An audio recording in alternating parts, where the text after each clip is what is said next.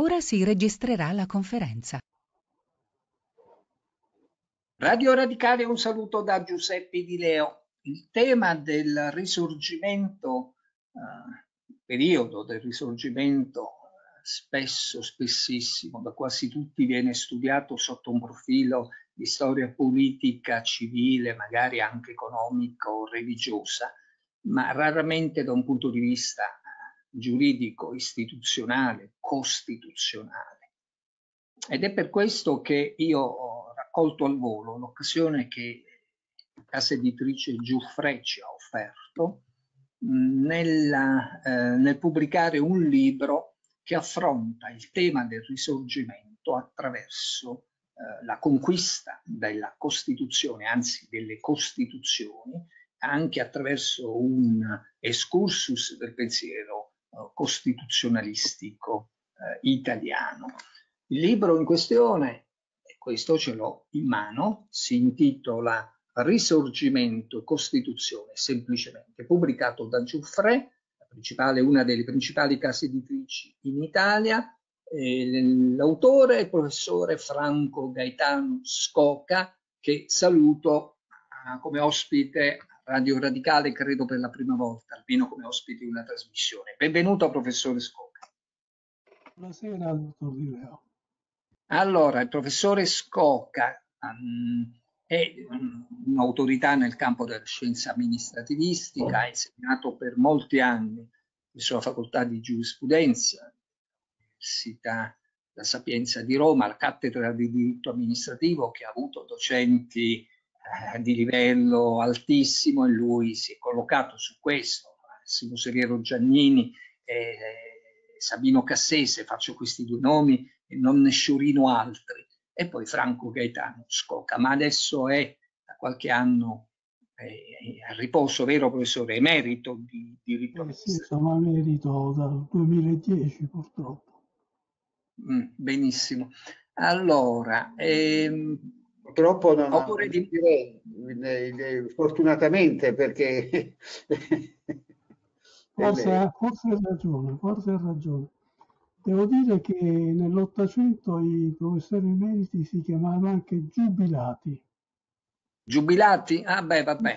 Eh, sì, però il giubilato ha una accezione non sempre positiva, per cui emerito è meglio. Poi abbiamo il Papa emerito, docenti emeriti, i presidenti della Corte Costituzionale emeriti, è molto eh, meglio. Nella... Però se mi consente, professor Fulco-Lanchester, voglio presentarla prima, così poi mi può anche togliere il microfono. Il professor Fulco-Lanchester è l'interlocutore ehm, di questo libro che poi sarà presentato, lo diremo alla fine, anche a Roma, qua è la prova generale, se, se passate questa prova qui poi il resto sarà tutto scherzevole eh, Fulco Lanchester è anche lui è stato una colonna della facoltà di scienze politiche della Sapienza di Roma, però ha insegnato la disciplina giuridica, diritto costituzionale italiano e comparato, eh, autore di numerosissimi saggi, direttore di Nomos, emerito della eh, Sapienza, però, mh, però insomma, un defesso lavoratore, per cui forse adesso lavorerà ancora più di prima almeno dal punto di vista della convegnistica e poi della direzione di questa rivista, uh, Nomos. Professore Lanchester, voleva dire qualcosa? Eh, volevo dire semplicemente che ai sensi della legge Casati, presa eh, del 59 sulla istruzione superiore eh, in generale, eh, i professori ehm, eh, potevano ottenere l'emeritato, ma in realtà l'emeritato era la loro pensione eh, nel senso che rimanevano in servizio nella maggior parte dei casi, considerando anche l'età media, eh, i 75 anni del periodo volevano dire eh, la fine eh, di tutto, quindi non si andava mai in pensione. è stata la legge Gentile che ha mh, abbassato a 70 e poi c'è stato il fuoriruolo con il 44-46. Eh, ma voi rischiate di fare un'osservazione sul professor eh, Scoca. Il professor Scoca è allievo di Massimo Severo Giannini e, eh, Massimo Severo Giannini ha nelle sue radici sia eh, Santi Romano sia Luigi Rossi e, e nella sua attenzione per la storia ehm, ehm, è certificata anche dalle analisi con Iemolo sullo Statuto Albertino.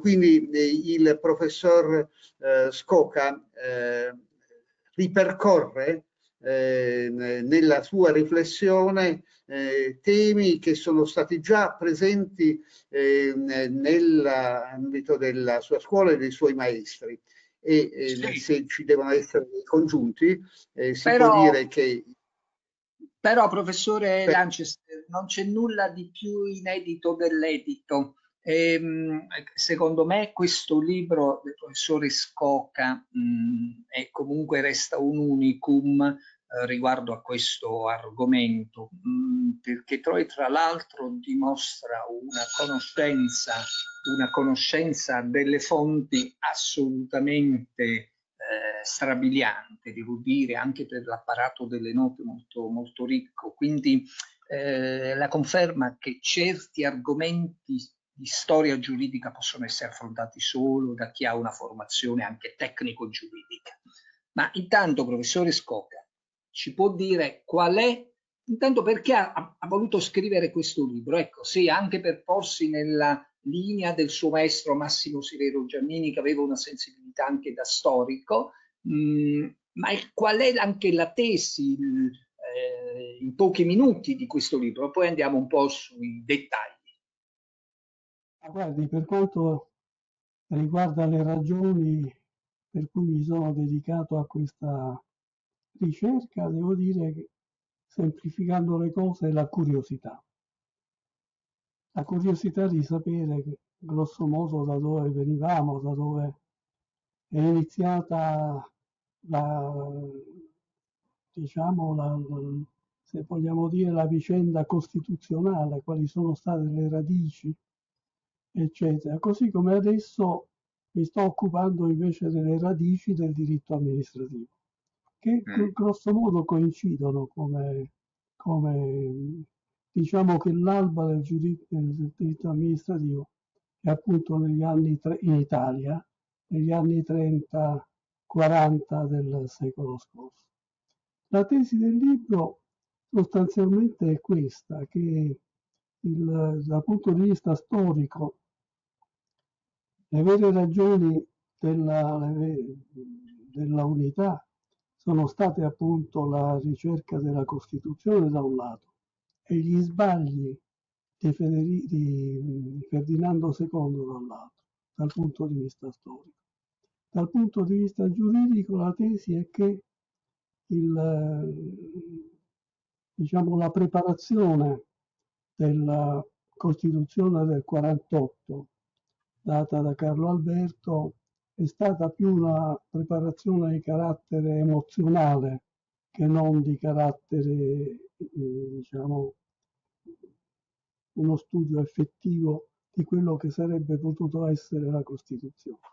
Tanto che il testo del, dello Statuto è un testo piuttosto arretrato rispetto alle aspettative delle, delle classi emergenti di quell'epoca, delle classi colte di quell'epoca e che oltretutto lo statuto così come è stato scritto era assolutamente impossibile da attuare in concreto, tanto che eh, la prassi lo ha modificato eh, profondamente per, fino al momento in cui è entrato in, in funzione il Parlamento nel 1948 fino alla data della, della istituzione del Regno d'Italia nel 1861. E la Costituzione che effettivamente vigeva nel 61 non era quella disegnata dallo Statuto del 48. Questa è la tesi fondamentale. A questo naturalmente si aggiunge come premessa tutto quello che era stato fatto, tutto, parte di quello che era stato fatto prima della restaurazione del 1815, quindi a partire dagli studi di Pagano in poi, e eh, invece una specie di eh, ultra attenzione dopo il 1861 per vedere in realtà a grandissime linee che cosa è successo dopo dello statuto nei primi decenni della, dell'esperienza unitaria italiana. Questo sì, infatti, infatti lei ha citato Francesco Mario Pagano, adesso poi la, la polemica sul Pagano di uh, Vincenzo Cuoco, ma insomma la tragica fine di, di Pagano, del giurista uh, di Brienza, in piazza Mercato a Napoli, la rivoluzione, quella, eh, molti dicono se non fosse fallita, non fosse finita con la morte di, eh, di, eh, di Pagano, probabilmente avrebbe segnato una storia avrebbe segnato una storia, un destino diverso per, eh, per il sud del mezzogiorno. Um, però ecco, la motivazione importante, lei sostiene qui, bisogna capire, eh, mette all'allerta il lettore, bisogna capire che eh, queste lotte eh, rivoluzionarie erano lotte eh, non solo per, non per il territorio, non solo, certo, anche, ma per la Costituzione, perché la Costituzione, eh, come atto scritto, lei scrive, eh, e solennemente giurato, era sinonimo nel pensiero del tempo di allora di garanzia, di sicurezza, giustizia, libertà e partecipazione all'esercizio del potere politico. Ottenerla significava raggiungere la soddisfazione di queste vitali esigenze. Da qui la dicotomia, che in realtà non è dicotomia, ma è simbiosi tra risorgimento e Costituzione. Potremmo dire non c'è risorgimento senza storia costituzionale. Direi proprio di sì, direi proprio di sì. Riprendendo quello che dicevo prima, a me sembra che eh, la Costituzione è stata veramente ciò che ha eh, costituito la ragione di combattere prima e di, e di diciamo, studiarla dopo che è stata concessa eh, quello che vorrei sottolineare è questo, che la Costituzione non era necessariamente connessa con l'indipendenza e l'unità italiana. Tanto è ecco. vero che fino al 48 la Costituzione è stata chiesta ai vari, principi italiani, cioè non si, non si, intendeva unificare, perlomeno unificare come Stato unitario, ecco, eh, la penisola, ma si voleva semplicemente volere la Costituzione o perfino delle riforme nel senso di rendere meno intenso l'assolutismo delle, dei vari principi italiani. E secondo me, eh, se non ci fossero stati appunto quelli che io dicevo, gli sbagli di, Federico, di Ferdinando II, ci si sarebbe potuto arrivare con il che la Costituzione avrebbe poi costituito addirittura un ostacolo per la unificazione reale dell'Italia. Questo è quello che penso io. Eh, però eh, qui passo la palla al professor Furcolari. La tesi in, in, realtà alla fine dell'introduzione eh, eh sì. si evidenzia una perplessità. Eh, il punto 12 di pagina 14 se eh, non ci fossero stati eh, gli altri principi e le posizioni soprattutto eh, di Ferdinando II, il re bomba, ehm, ma eh, in realtà il problema eh, eh, dello sviluppo anche della coscienza costituzionale ehm, viaggia parallelamente alla eh, trasformazioni nel Settecento dall'illuminismo illuminato ehm, ehm, di Maria Teresa, ma soprattutto di Giuseppe II e di eh, Leopoldo, eh, alla rivoluzione francese, all'importazione nelle eh, regioni eh, settentrionali e meridionali del costituzionalismo ehm, di ispirazione francese. E poi eh, con la caduta di Napoleone, la parte napoleonica è una, eh, diciamo, eh, l'assopimento della Costituzione, l'autoritarismo eh, monocratico, eh, ecco, eh, con la Santa Alleanza e l'egemonia austriaca ed è questo l'importante per cui andremo a presentare il volume del professor Scocca all'Istituto Storico Austriaco, eh, che è considerato il eh, vero avversario dell'unità, dell'indipendenza, della libertà e della Costituzione italiana, eh, della Costituzione nel nell'ambito eh, italiano. Ecco, il problema geopolitico è importante, è importante perché le posizioni Abbiamo perso Lanchester. Eh, costituzionale dei vari stati rispetto anche a sono sono caratterizzate eh, dalla posizione di tipo geopolitico, il Piemonte fra Francia ed Austria, ehm, eh, l'isolamento eh, del eh, sud de, del Regno delle Due Sicilie ed in particolare il problema siciliano della Costituzione del 12, ehm, eh, la Costituzione, chiamiamola inglese, di Bentinck del, del 1900, 1812, il, eh, la tendenza invece napoletana a recuperare la Costituzione eh, di Cadice e, e, quindi un altro tipo di forma di Stato. Ecco, ehm, il problema eh, che eh, si connette a questa discussione fra giuristi, fra eh, costituzionalisti, amministrativisti, perché il problema della struttura dello Stato e storici del diritto, eh, quel colloquio che richiedeva proprio Paolo Grossi eh, che è il fondatore di questa eh, collana e della rivista per la storia del pensiero giuridico moderno nel suo primo, eh, nella sua introduzione eh, alla rivista, ehm, sta nel fatto di individuare eh, il dibattito ehm, per la Costituzione eh, e per la sua articolazione come un dibattito in primo luogo sulla forma di Stato e dall'altro sulla forma di governo.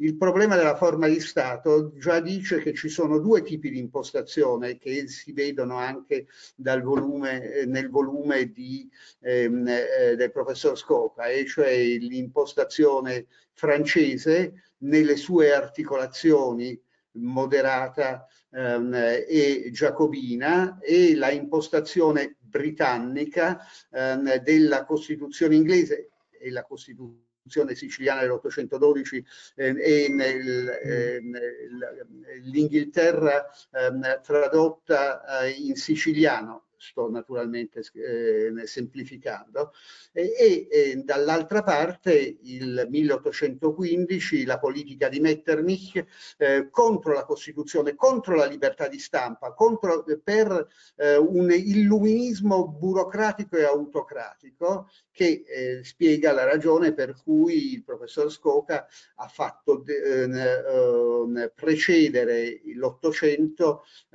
dalle riforme eh, illuministiche eh, del Settecento, eh, soprattutto eh, nel eh, quello che è l'area settentrionale eh, le, di tipo asburgico. Ecco, il problema della Costituzione eh, e eh, chi è che ha il potere di suprema decisione, schmittianamente chi è il titolare della sovranità. E il Wiener Schlussact, e con questo concludo, dice all'articolo 57 che solo il sovrano e l'articolo 5 eh, in realtà della mm, monarchia rappresentativa ehm, ehm, albertina eh, stabiliva eh, un collegamento con le costituzioni del 14 ehm, e, e, successive eh, proprio nella eh, coerenza eh, della posizione del monarca. Poi discuteremo eh, come nel 1848 eh, la monarchia sabauda abbia eh, non solo concesso con Carlo Alberto lo statuto, ma abbia anche modificato in progress in maniera incrementale ed è per questa ragione che il professor Scoca si è ehm, lanciato nell'analisi dei dibattiti parlamentari e della discussione sul problema della forma di governo eh, nel periodo 48-1860-61 per vedere gli eh, i progressi eh, incrementali verso una forma di governo che sposta l'asse eh, da un dualismo eh, orientato sul eh, monarca a un dualismo temperato spostato sull'assemblea parlamentare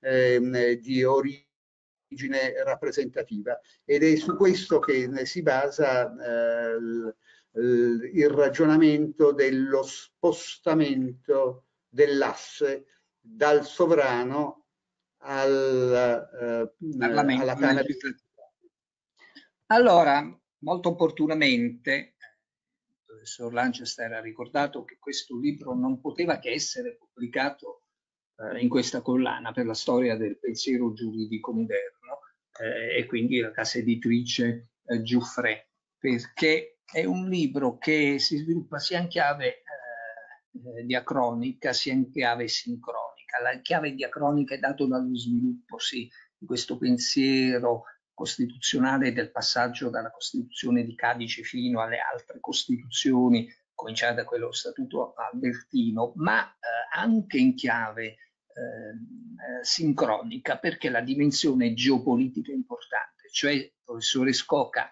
Qui è importante la storia, avere chiaro anche le cartine, le mappature, il ruolo degli altri stati, di alcuni altri stati, eh, per dire che il diritto si muove in un contesto storico, però poi è necessario anche avere delle competenze ovviamente tecniche, lo studio dei, eh, dei lavori parlamentari, la conoscenza anche dell'organizzazione della teoresi, eh, pubblicistica, in particolar modo amministrativistica, di cui questo libro ci offre ampia mola e per questo un libro anche di ampia mole eh, di più di 600 pagine, non è proprio un libro che si può leggere eh, sotto l'albero di Natale così in pieno relax.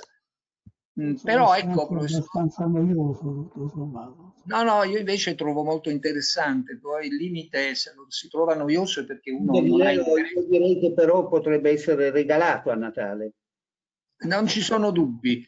Naturalmente va regalato, va regalato con un target di pubblico, ovviamente, direi perché è un libro. Magari un libro, una bottiglia di champagne in modo da è un libro, non è un pamphlet, è un libro che invita conoscere meglio la vicenda costituzionale italiana e risorgimentale italiana. Però, professore Scocca, a proposito di dimensione sincronica, dimensione eh, diacronica, mh, mm, ci può dire eh, i protagonisti di questo libro, farci qualche nome di protagonista politico e di qualche protagonista di mh, mm, giurista, di teorico costituzionalista eh, che diciamo, hanno trovato eh, nelle sue pagine anche eh, poi nell'indice dei nomi maggiore spazio e perché? Guardi, secondo me dal punto di vista sia politico sia anche costituzionale il protagonista assoluto è Cavour. È Cavour che ha dato veramente in tutte le circostanze in cui è intervenuto in Parlamento ha dato veramente il segno della evoluzione della disciplina costituzionale. Prima di Cavour c'era stato qualche episodio interessante, per esempio uno in cui ancora si vede che nonostante lo statuto la mentalità del, del sovrano assoluto permane in Vittorio Emanuele II, giovanissimo d'altronde, nel 1849 è quello che riguarda l'approvazione parlamentare dell'armistizio eh, di Vignale e, del, e, della pace di Milano dopo la prima guerra di indipendenza. Per ben due volte Vittorio Emanuele II ha sciolto il Parlamento, perché il Parlamento la prima volta, la prima Camera, che era poi la seconda legislatura, non volle approvare il trattato di pace perché riteneva che fossero delle condizioni piuttosto pesanti. anche dal punto di vista finanziario. La seconda volta voleva approvarlo, anche se non lo condivideva, cioè la terza legislatura, eh, però c'era un problema grave che riguardava addirittura l'onore del, del Piemonte, cioè eh, nel corso della prima guerra d'indipendenza ovviamente molti lombardi e anche molti del, dei ducati di Parma e Piacenza e, dei, e di Modena si erano trasferiti in Piemonte. Ora che cosa succedeva? Questi qui, eh, essendo, stata, essendo state annesse sia la Lombardia che queste, eh, questi ducati, erano cittadini, erano diventati cittadini del regno, del regno di Sardegna. Ma quando queste annessioni sono state annullate per via di fatto, perché queste, la, la, guerra era stata perduta, il problema era questo, mantenere o non mantenere la cittadinanza eh, piemontese a queste persone che si erano che eh, erano andate a vivere in Piemonte. E lì ci fu questo grande eh, contrasto tra la Camera che voleva che fosse mantenuta la cittadinanza e invece il governo che riteneva che non potesse essere per ragioni finanziarie, che questo avrebbe, sarebbe costato. Ed è per questo che eh, il, il re Vittorio Emanuele II sciolse per la seconda volta nel giro di pochi mesi la Camera, riuscendo finalmente eh, la, alla terza elezione ad avere una maggioranza che poi approvò il trattato di pace senza nemmeno discutere. Ecco, in questo episodio si vede ancora che il re è un re che ritiene di essere ancora il titolare del il capo dello Stato, il titolare dei massimi poteri costituzionali e tra l'altro è noto nel secondo proclama di, di Moncalieri, lui avverte proprio chiaramente, guardate che se poi le cose cambiano, nel senso che magari si farà a meno dello statuto, della Costituzione, e non sarò io il responsabile. Sono questi che non, non si rendono conto che devono, come lui diceva, esercitare la saggezza pratica, anzi la sapienza pratica. Cioè, dire,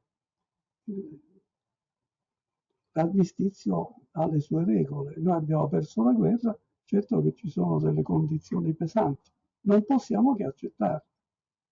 Questa era l'idea. Viceversa, quando poi eh, entra in scena Cavour, eh, tutte queste cose cambiano profondamente. Sia quando si è parlato di, eh, delle leggi Siccardi del 1850, che, contro le quali Vittorio Emanuele II eh, si era abbastanza schierato, eppure furono quasi tutte approvate dal Parlamento, quindi nonostante che il re fosse contrario.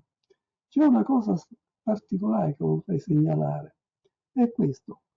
Eh, una delle leggi Siccardi riguardava le feste religiose e l'ordinamento piemontese stabiliva che chi lavorava nelle feste religiose veniva eh, punito anche penalmente. Non si poteva fare senza una particolare autorizzazione.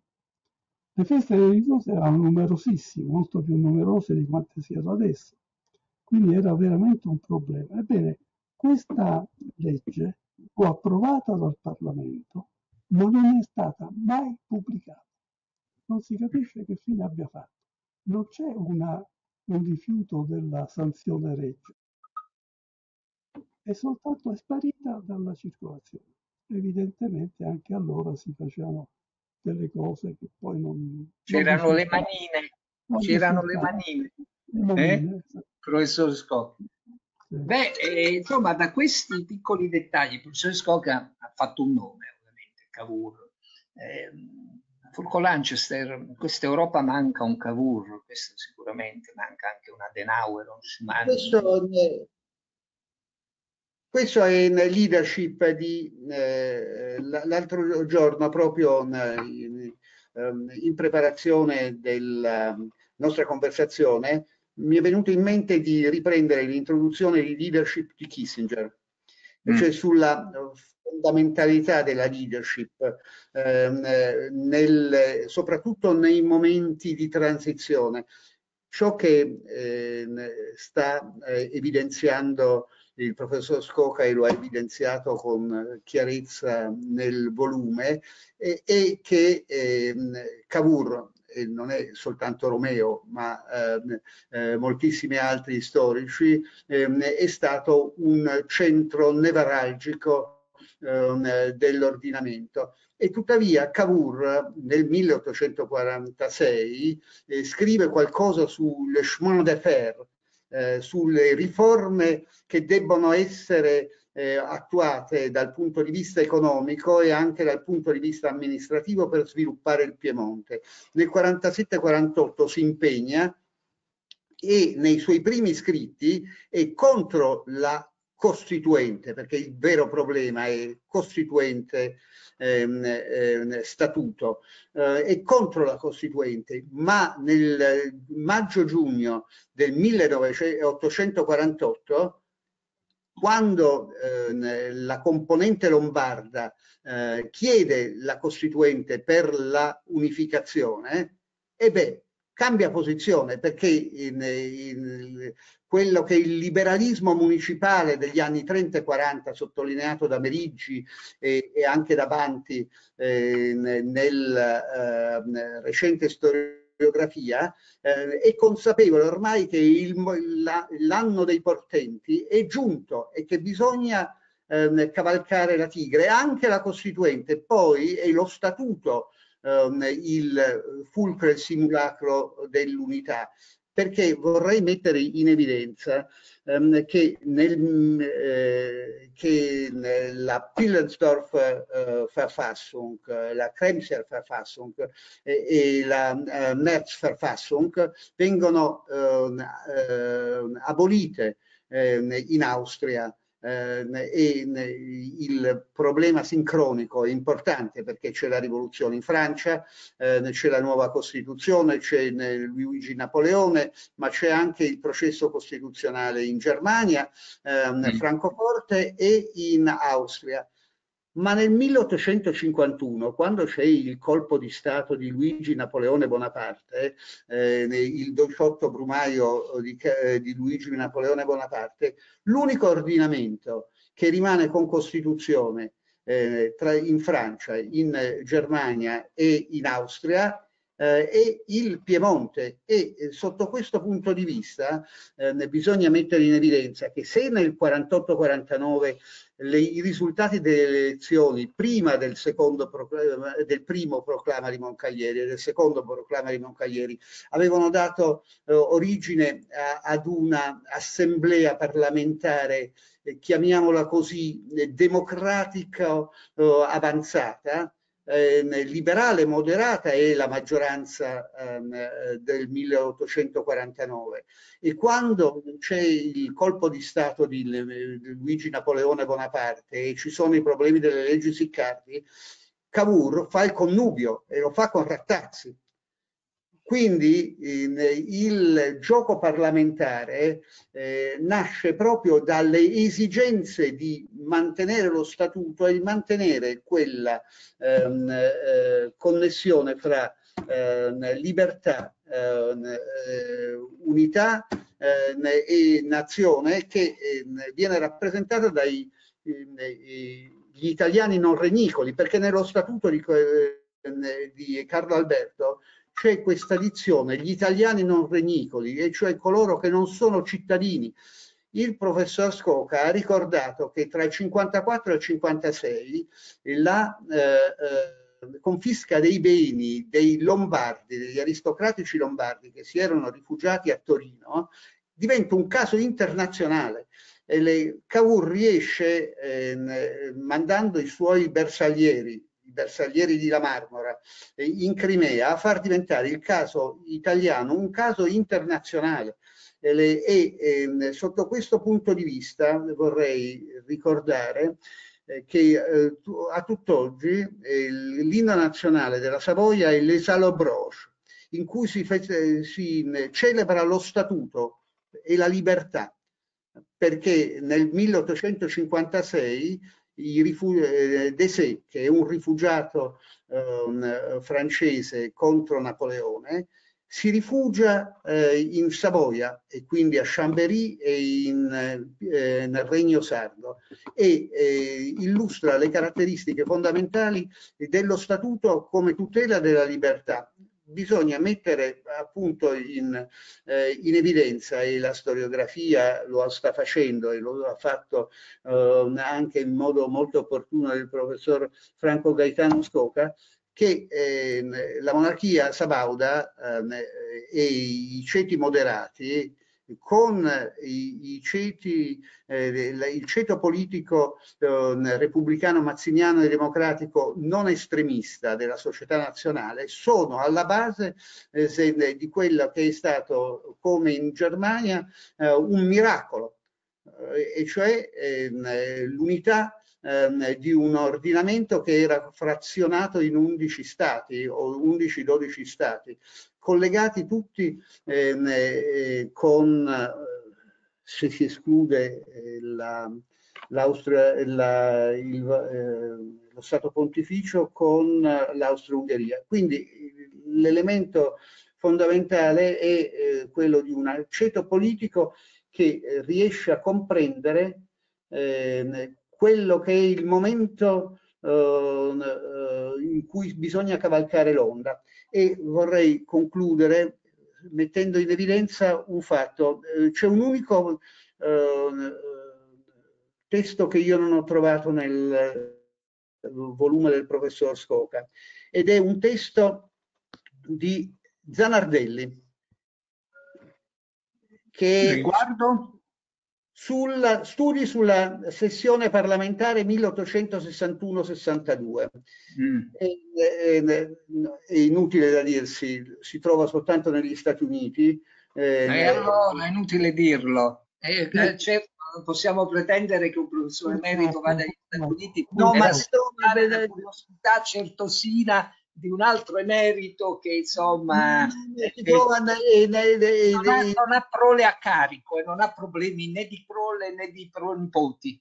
Allora, professor Lanchester incidentalmente ha fatto riferimento ma ecco l'energia devo dire che ma all'indomani di lotte che avevano tutti gli entusiasti della nazionale questa assemblea di popolo quella del 60-61 per mm-hmm. la, prima, la, prima, volta Libero Unito diveniva una specie di costituente italiana, poiché se essa non aveva da dettare una Costituzione le era affidato tutto quell'ordinamento civile e militare in cui più che nei pochi articoli di un patto, sempre docile e flessibilissimo, si adempie e concretasi la libertà, la potenza, la vita interna ed esteriore di una nazione. Questo per dire che l'opera ehm, del professor Scoca ehm, adesso sul processo di unificazione amministrativa e eh, doveva essere eh, preliminarmente preparata da questo volume che eh, evidenzia come la classe dirigente fosse ehm, eh, consapevole che era pericoloso per l'unità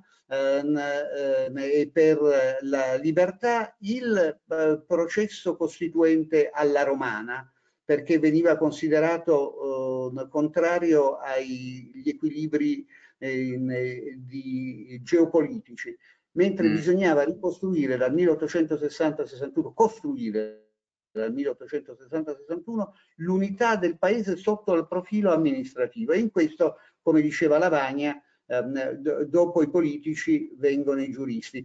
Ma ehm, Zanardelli, Boncompagni, eh, Dondes Reggio sono tutti politici e sono costituzionalisti ed è per questo che molto, in realtà i costituzionalisti vengono soltanto dagli anni 70, i veri costituzionalisti. Anche in, eh, eh Pasquale Stanislao Mancini eh, è un non renicolo eh, che diventa cittadino e professore di diritto internazionale e fa la prolusione del 51-52. Eh, per questo eh, ripercorrere il volume di le, le note tra l'altro del volume del eh, professor Scoca è estremamente interessante perché eh, si vede quanto l'opinione pubblica fosse vivace. L'opinione pubblica in questo caso è il ceto medio eh, e anche l'aristocrazia, soprattutto l'aristocrazia piemontese. Eh, l'aristoc- soprattutto l'aristocrazia perché il concetto di opinione pubblica come poi ce la presenta Jürgen Habermas è un prodotto del secolo successivo, della seconda metà del secolo successivo in modo particolare. No, ma piemontese, io sono d'accordo con il professor Lanchester, piemontese, perché, eh, oddio, c'è anche, anche Terenzio Mamiani era un nobile, insomma. Però per esempio l'aristocrazia meridionale era molto divisa, molto mm. divisa. Tanto per cambiare. Non è cambiata. Cioè.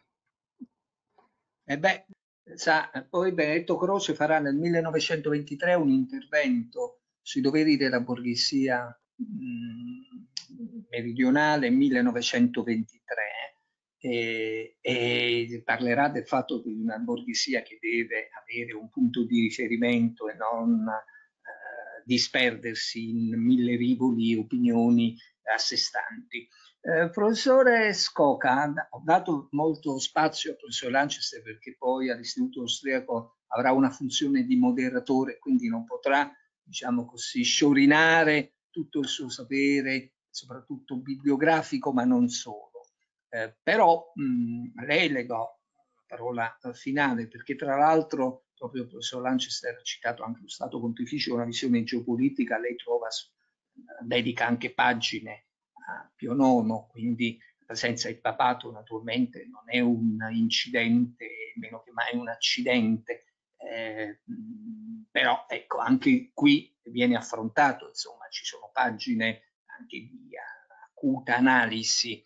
Um, in conclusione, eh, cosa si sente di poter dire? Perché come vedete il tempo sfugge, siamo ormai alla fine della nostra conversazione, abbiamo cercato di dare le coordinate generali di questo libro che poi va letto, anzi no, va studiato, va meditato, però è la conferma che mh, capire l'organizzazione dello Stato, la nervatura dello Stato richiede poi una conoscenza eh, giuridica, istituzionale, te- teorica del diritto, anche di filosofia del diritto, mi permetto di dire, perché delle leggi e degli ordinamenti. Ma um, cosa si sente di poter dire a mo' di sintesi finale questa nostra occasione? Eh, guarda, io, io voglio dire alcune brevissime cose. La prima è questa. Io ho l'impressione che i piemontesi, in particolare Cavour, non volessero affatto arrivare a una unità d'Italia. Puntavano più che altro ad avere tre, tre, tre stati in Italia. Lo Stato dell'Alta Italia, che doveva essere il Piemonte esteso al Lombardo-Veneto e ai Ducati Pagani, quindi praticamente la parte più importante della, della penisola.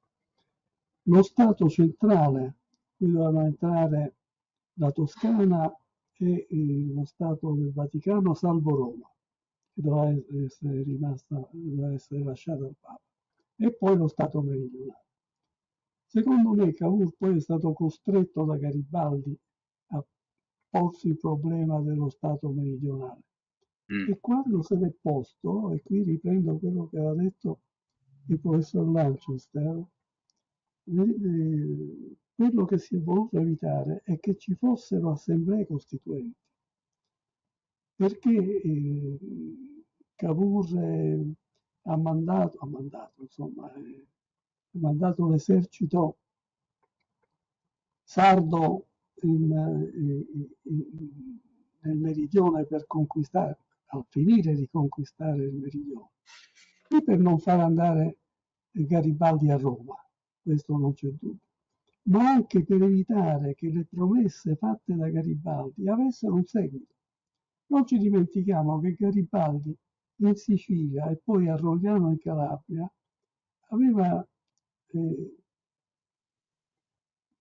deliberato, detto più pubblicamente che insomma lui voleva dare le terre ai contadini, le terre ovviamente demaniali, comunali, demaniali, eh, feudali, eccetera, ai contadini.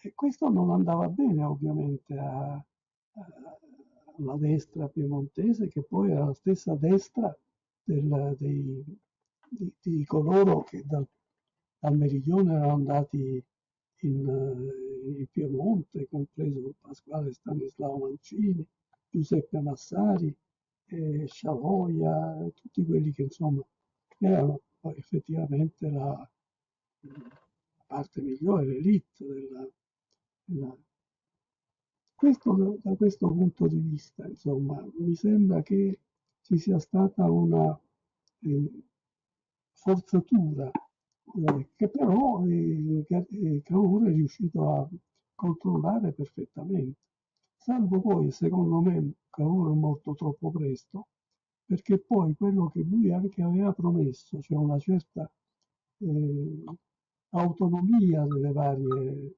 regioni italiane, poi invece caso in poi è stata contraddetta. L'altro problema che vorrei, altro profilo che vorrei sottolineare è questo. Giuridicamente, come è stata giustificata che senza dichiarazione di guerra il Piemonte invadesse non solo lo Stato del Vaticano, ma il regno meridionale, che era ancora un regno, ovviamente uno Stato sovrano, insomma, con il diritto di nazionalità. Cioè la nazionalità a un certo punto non era più un'aspirazione, non era più uno stato di fatto. Ecco, mm. lingua, letteratura, storia e compagnia bella. È diventato un diritto. Quindi chi, chi è, questo lo dicevano chiaramente, insomma. Io vado nel meridione perché devo eh, esercitare il mio diritto di nazionalità. Ma a questo punto, per fare così una, eh, diciamo, osservazione di attualità, non è la stessa cosa che c'è in Ucraina. Perché Putin va in Ucraina? Perché dice che ha un diritto di nazionalità. Gli ucraini sono russi e quindi lui può benissimo andare. Non è molto diversa la cosa, è diversa però completamente l'atmosfera di carattere generale. Cioè allora veramente si credeva che esistesse un diritto di nazionalità, ma un secolo e mezzo fa, non adesso. Adesso ovviamente questo il giudizio che si può dare su questa cosa è completamente opposto. Beh, e del resto Cavour non era mai sceso, mm, corregga, a Manchester, al di sotto di, di Roma, non credo avesse mai messo piede nella campagna eh, originaria del professore Scoca o nella mia Lucania. Eh, io farei un altro paragone, professore, invece di Putin, perché lì ci interviene il tema del, anche del mondo ortodosso, della terza Roma, tema abbastanza complesso, complicato, non possiamo neanche qui sciorinare in po di poco tempo. L'altro giorno il ministro Calderoli è andato a Napoli e ha incontrato il governatore, lei è originario di Calitri, ehm, e, e, ha, incontrato, eh, ha incontrato il governatore. Qui si è parlato di autonomia differenziata, però allo stesso tempo la parte di Calderoli che però prendeva atto delle, eh, delle osservazioni del, um, del governatore sul fatto che si rischiava di dividere l'Italia sostanzialmente in tre parti, ma con un gravissimo documento per il sud che si sarebbe poi ripercorso anche sul, sul nord. Quindi per certi versi i problemi ancora si trascinano da questo punto di vista, perché sì, per... il tema dell'autonomia differenziata.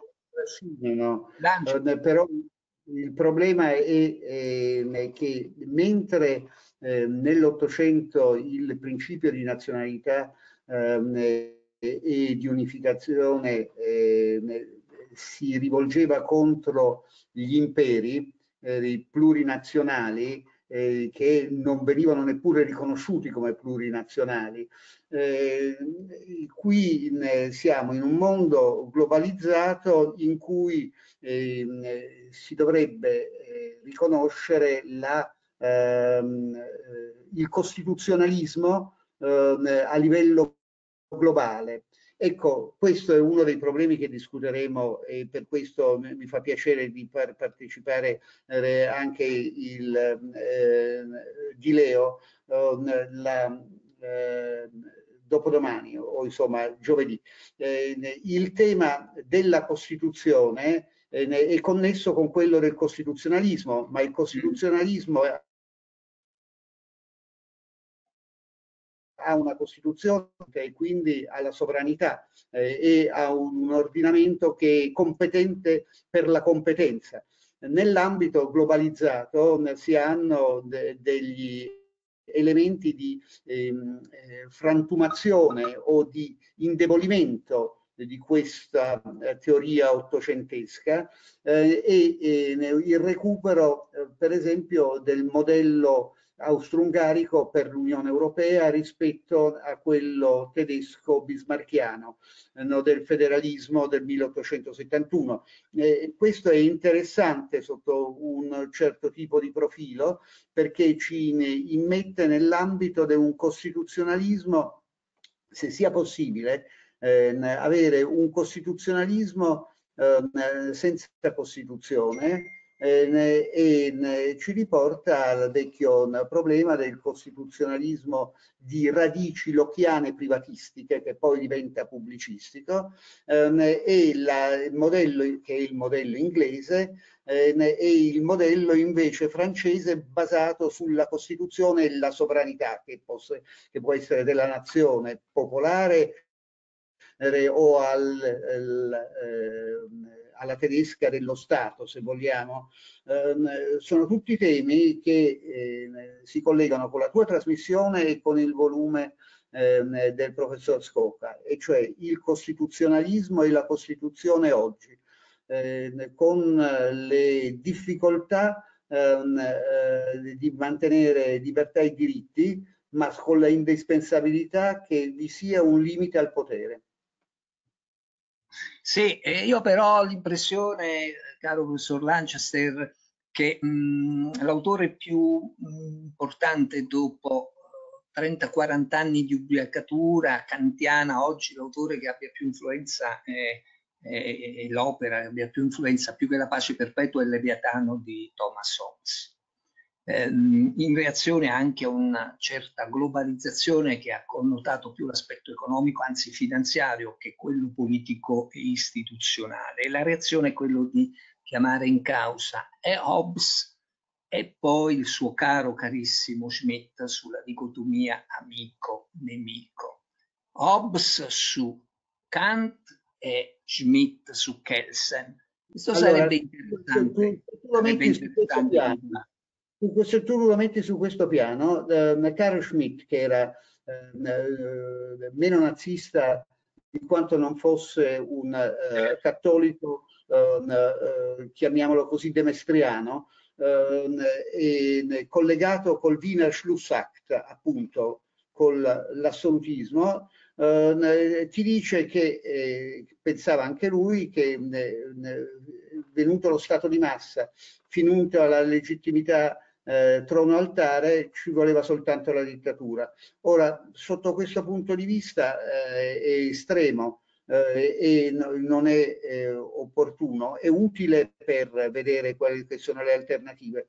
Su Putin eh, io direi che la questione ucraina che tu osservavi e mettevi, eh, che anche il professore ha messo in evidenza, è il problema del eh, scongelarsi di una questione non risolta eh, dopo il primo conflitto mondiale, quello della nazionalità eh, dei ruteni, eh, degli ucraini, dei russi bianchi, eh, eh, il problema che tu hai sottolineato della grande Russia, eh, con eh, utilizzazione da parte di Putin, ma anche di Zelensky, di eh, te temi di eh, indottrinamento di massa e di eh, inglobamento di massa, perché eh, con la forza militare tu riesci a eh, evidenziare quali sono i confini della nazionalità perché impedisce agli altri di essere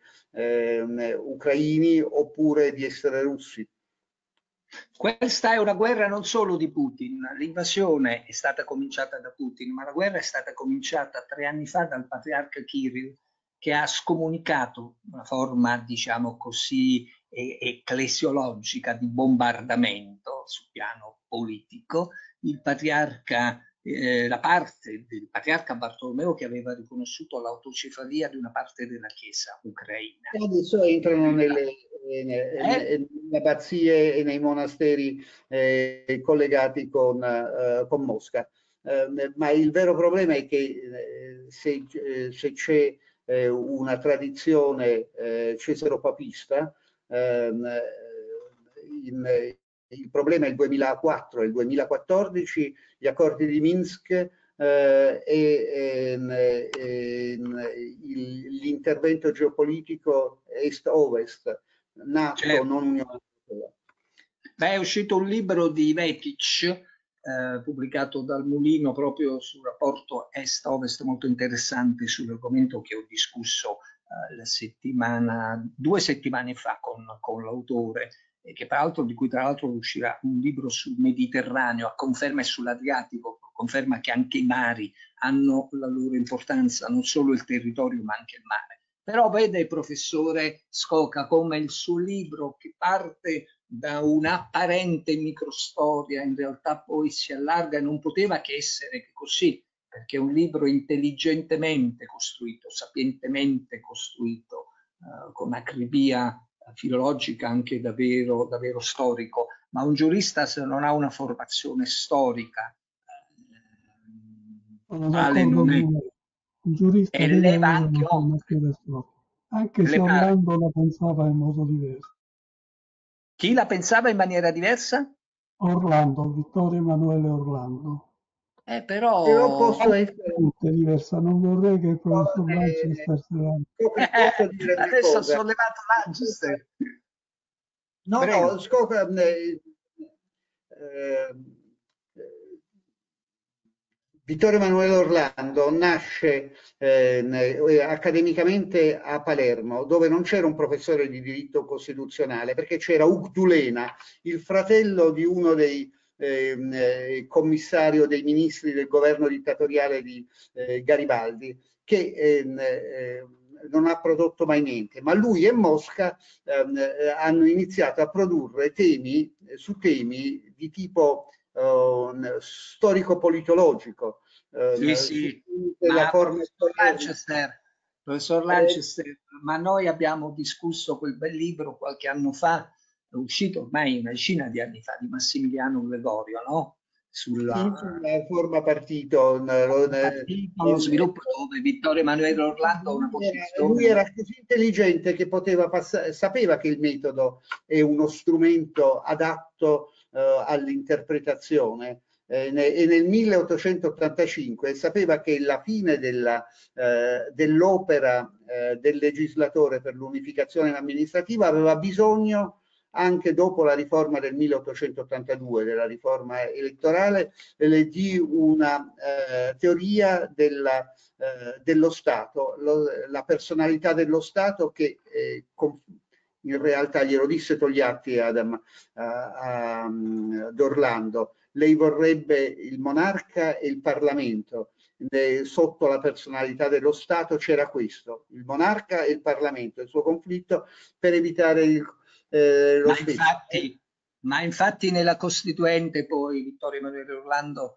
periodo della Costituente, la stessa dottrina di Vittorio Emanuele Orlando, Orlando stesso ebbe una posizione non da protagonista, non per un caso. Era ormai un uomo, se non da seconda metà dell'Ottocento, comunque da prima metà, da primi decenni del Novecento, non certo l'uomo. salutarlo perché lui diceva nel 26 che eh, si rendeva conto che le sue concezioni dell'885 dovevano essere riformulate perché ah, eh, ha modificato questo lo diceva, questo lo diceva anche questo lo diceva anche Benedetto Croce a chi gli faceva notare che ormai era uomo del secolo passato. E lo diceva: no, no, ripensate, nel senso di riformulate le mie concezioni teoretiche sulla letteratura, né sull'arte, sul barocco e sul, sulla filosofia soprattutto e su Hegel molto opportunamente, tu hai detto molto opportunamente eh, che eh, abbiamo presentato il volume di Gregorio e abbiamo discusso dei partiti.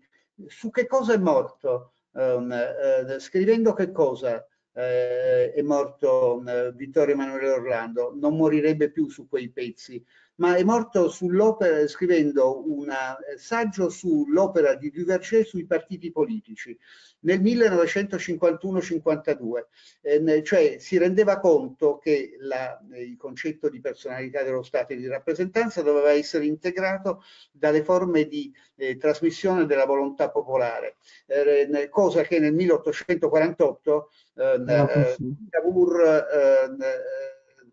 Certo, certo, solo che naturalmente veniva fuori in quegli anni una nuova generazione, penso in Francia a Maurice Duverger, che aveva una visione, aveva costruito una visione culturale diversa. Hai appunto sul volume di Duverger le parti politiche che lui... Eh, eh, tuo, che io lo dico a fare. Allora, professor Lanchester, siamo a un'ora di discussione, chiuderei qui, poi giovedì spero di potervi venire a trovare all'Istituto Austero di, eh, di, Cultura. Però intanto io ringrazio il professore innanzitutto professor Franco Gaetano Scoca che ci ha dato l'occasione di discutere questo suo importante, mi sento di dire, dovrebbe essere anche adottato come testo nelle, nelle facoltà giuridiche, negli insegnamenti di storia del diritto. Risorgimento e uh, Costituzione pubblicato da Giuffre. Grazie professore Scoca.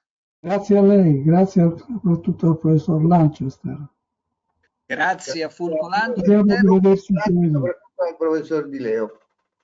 Grazie, non sono professore, i professori sono, già ce ne sono parecchi in giro, lasciamo perdere, non inflazioniamo il titolo. Grazie all'assistenza del tecnico Carmine Corvino e naturalmente un saluto e un ringraziamento finali da Giuseppe Di Leo ai ascoltatori di Radio Radicale.